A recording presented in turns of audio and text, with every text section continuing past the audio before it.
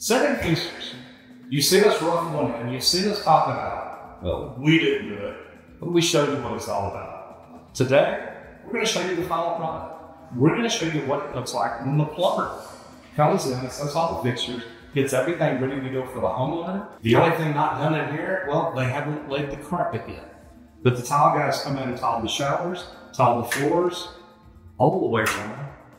So, y'all take a walk through here and I hear rest from that. okay, okay, I'm coming. As you can see, I'm in the shower. Well, I gotta tell you, I do love this shower. Got a big glass window here, and the big glass window here overlooking the Roman tub. Pretty freaking neat. So the shower here, I like this. You've got a tile in here, so this is not just a plastic enclosure. You've got a tile floor, which I really love. It's not just a pan. Look this. This thing is about four foot by five foot. So you got about 20 square feet. You got a bench in here, you got a shelf in here, and like I said, you got a shelf over here with a window. And I really do like this. The only thing I don't like about it is with this big a shower, I would want either another shower head or possibly a rain shower head to give me options in here. But this is a looking shower. So look at the tub. There's something about it I really, really like. So my favorite thing about this is the doors on it. Makes everything accessible, and that is so smart. Because like I said, I'm not a Roman tub like this, but there's no way to access anything under it unless I try to peel that off. And then if it breaks, I've got to replace it, rebuild it, do something different. Now, the way mine is done, mine butts up with the water lines up against my head wall, so I could cut an access panel in the other end if I need to get in there.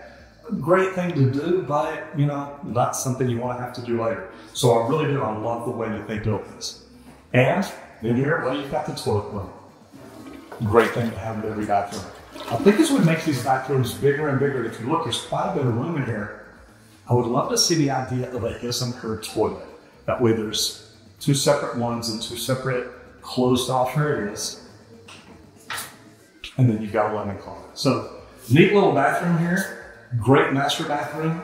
Great bathroom here. I like the fact that they're both uh, lavatory tops, countertops. And then you've got a spot down here where a lady can sit down, do her makeup, maybe mount a mirror, have a mirror on the shelf, anything like that. But I do, I really like the way this bathroom is laid out. Now, still got some work to do in here, nothing crazy, but to me, this is a very nice looking master bathroom. And then, of course, you've got a huge walk-in closet. Great thing to have. So, guys, here's another thing too. I love the tile, the marble tile here in front of the fireplace. We've got the gas pipe valve right here. So we've seen how they pipe it in from behind. So we know everything going on here. You know that there should be a switch over here. Absolutely. To turn this thing on. Love look if the gas is on yet. I'm not going to flipping or anything. You still got cardboard in here. Everything's not set up. But, and this is neat. You just come over hit the switch. Now, it's also wired so you can hang a TV up there. There's a lot of good things you could do in these big open living rooms like this. Great way to do it. Okay, so here we are in the kitchen now. The dishwasher's not set, but it's what of left open for it. You got the sink already installed, and everything is on. Checked it back there in the bathroom a while ago. And your stove top sitting right here. Now the cool thing about it, I love the way they put the gas line mm, over under another cabinet. That way, when you stick the stove top in here and load it, you just come off there, hook up to the regulator, connect right to it. So again, man, a very nice layout. You've got the ice maker box where the refrigerator goes, all your plumbing right under the sink right here to come over catch your dishwasher. Man, this is a very nice setup. I love the big open areas, as y'all can see. Okay, so here we are.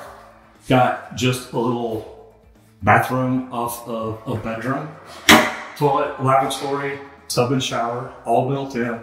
Again, I like the fact that they're using real tile, that they're doing different things like that. It's not just a little plastic fiberglass tub that they're sticking in and screwing to the walls. They're actually making these look really, really good. And I tell you, I kind of like it. And chrome's coming back. Look at it. All the fixtures are chrome all the way through.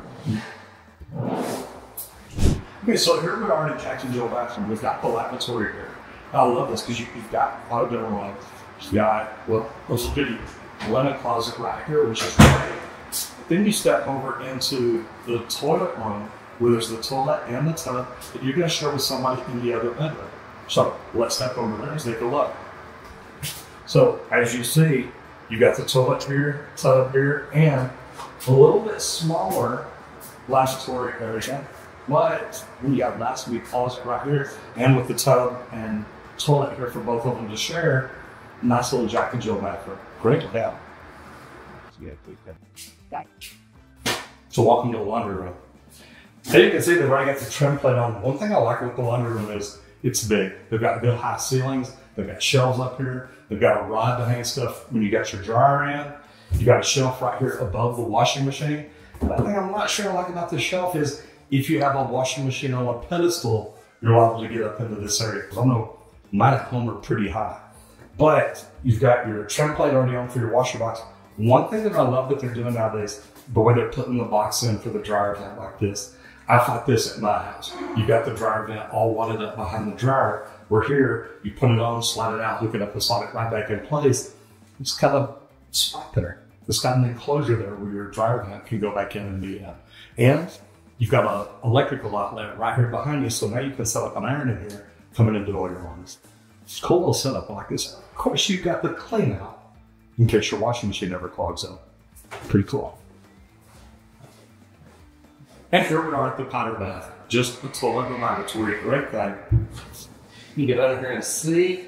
Got quarter turn angle stops on here, flexible connectors, PVC traps, Moen faucets, some Niagara high efficiency toilets. I'm actually doing this thing right, making everything look good. Y'all still there? Man, I didn't even have to do much. A long day setting fixtures though, it can wear you out. Guys, I gotta tell you, I do. I, I love the way this thing is laid out. My two favorite things in this house are probably the shower. Like I said, I would add a rain shower in, maybe a second shower unit. Other than that, man, that thing is really, really nice. I do. I like that. And the Roman tub, the way they've got access to everything. Little details like that can make all the difference in the world. So, if y'all to get out here and leave me alone, I'm gonna relax a little bit. It's been a long day. It's 10 in the morning. Um, I'm already wore out. If y'all enjoyed this video, I definitely think you'll like this. Can I get a glass of champagne, please? Hello? Anybody?